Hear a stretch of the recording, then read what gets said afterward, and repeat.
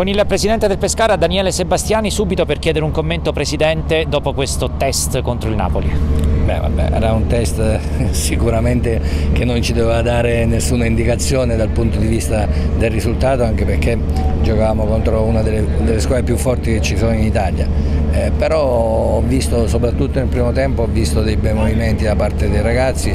Eh, chiaramente c'è un lavoro alle spalle che è stato fatto molto duro e oggi si è visto che molti erano un pochettino eh, alle corde, però mh, penso che il lavoro poi alla fine paghi sempre e possa riuscire nei prossimi giorni. Preoccupato quella facilità con la quale il Napoli prendeva le spalle la difesa, andava uno contro uno con il portiere, troppo forte il Napoli, è un po' la caratteristica di Auteri?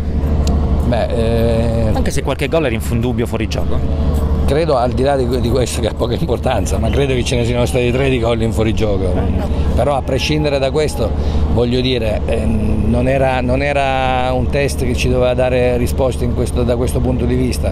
Giocavamo contro una squadra che ha un attaccante là davanti che in, in 30 metri te ne prende 40, quindi eh, in Serie C non so se ce ne siano tanti di questi attaccanti, quindi ci sarà sicuramente da adeguarsi alla categoria, però è un, è un test eh, molto bene, sicuramente una partita che, che, ci dava anche un po' di lustro perché comunque incontravamo il Napoli, ma non è questa la, la, la, la partita che ci deve dare dei, dei segnali su come stiamo andando. Parliamo di mercato, cominciamo con il portiere perché avete Di Gennaro, a me oggi Sorrentino è piaciuto tantissimo e da notizie, da rumors di mercato avete detto no alla controproposta del Craiova per Pigliacelli, rottura di chiusura definitiva? No, non è abbiamo detto no, noi abbiamo all'epoca all'inizio della trattativa abbiamo fatto un'offerta, abbiamo fatto un'offerta secondo le nostre tasche, è evidente che il Craiova ha altre aspettative e per noi si chiude qui, non possiamo portare, anche perché abbiamo preso di Gennaro, come dicevi tu, io sono convinto di avere in casa un ragazzo che, sa, che farà parlare di sé prossimamente perché Sorrentino è un ottimo portiere, quindi non vedo per quale motivo dobbiamo avere paura a far giocare anche dei ragazzi bravi se sono bravi, perché qui purtroppo in Italia ci giriamo dietro e guardiamo sempre quelli più vecchi, però Sorrentino secondo me non ha nulla da invidiare a nessuno, eh, farà la sua strada e io sono contento di averlo nel gruppo. A proposito di giovani, Chiarella ha sorpreso tutti in questo secondo tempo?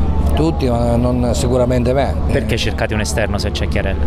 Ma cerchiamo un esterno perché probabilmente qualcuno sarà, non sarà della partita, magari qualcuno andrà via e quindi si cerca un giocatore per sostituzione, ma Chiarella è un giocatore che secondo me se lo facciamo, non lo bruciamo e lo facciamo crescere in tranquillità è un giocatore che oggi ha fatto vedere delle grandi potenzialità. Chiudiamo proprio con il mercato, il fatto che abbia giocato Drudi a centrocampo fino al quarantesimo, solo 5 minuti per Valdifiori, inseriamo anche Valdifiori con Galano, Busellato e Di Grazia che andranno via? No, Valdifiori aveva avuto un problema in settimana e quindi il mister addirittura non voleva proprio farlo giocare, poi alla fine gli ha chiesto come stava, il ragazzo si era preso 6 o 7 occhi, quindi ha voluto esserci. E... Busellato Galano e Di Grazia no?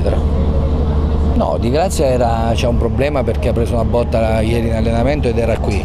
E Busellato e Galano c'è un discorso a parte perché eh, nella loro testa non c'è più Pescara eh, però a mio avviso credo che debbano, debbano, essere prima di tutto professionisti e fare il loro lavoro. Poi se dovesse arrivare qualcosa eh, per loro sicuramente ci guarderemo.